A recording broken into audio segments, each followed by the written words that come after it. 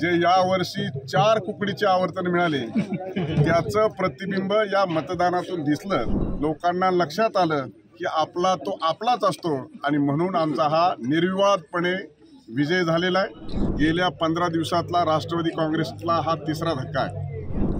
स्वाभिमानी शेतकरी विकास पॅनल जे आमचे दोन्ही उमेदवार विजय झालेले आहेत. सभापती पदाचे उमेदवार आमचे काकासाहेब तापकीर होते तर उपसभापती पदाचे उमेदवार अभय पाटील तथा आबासाहेब उभा होते. दोन्ही आमच्या पॅनलला नऊ मतदान होतं. समसमान झालं होतं.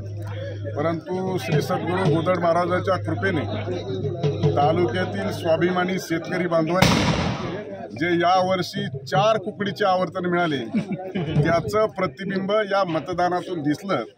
आणि ससत विवेक बुद्धीला स्मरून लोकांना लक्षात आलं की आपला तो आपलाच असतो. आणि म्हणून आमचा हा निर्विवादपणे विजय झालेला आहे.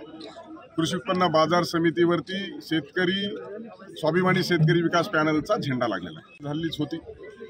संघर्ष केला मेहनत केला कार्यकर्त्यांनी अतिशय कष्ट केलं.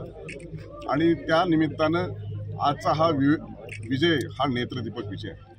गेल्या पंधरा दिवसातला राष्ट्रवादी काँग्रेसला हा तिसरा धक्का आहे. जामखेड जिंकलं खरडा जिंकलं आज कर्जत जिंकलं.